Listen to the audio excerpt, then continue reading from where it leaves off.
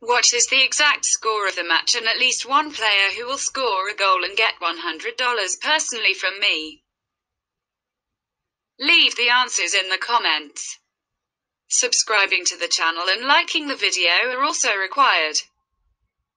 We register by reference in the attached comment, enter the promotional code, we get an advance rate on your account. After dropping two points in a goalless draw with Leipzig, Bayern München rolled over Köln on the road in their last league fixture. The mighty Bavarians regained top position in the Bundesliga standings, and they are seen as hot favourites to win Friday's clash against Paderborn as well. Since Robert Lewandowski is enjoying yet another season to remember, we predict that he is going to prove a handful for the opposition defenders.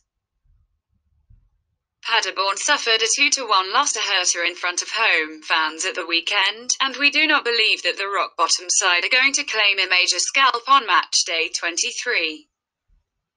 Bayern München crushed the Billy Goats at the weekend, meaning that they are high on spirits ahead of the Allianz Arena showdown. In their last meeting in München the Bavarians rolled over Steffen Baumgart's troops 4-0.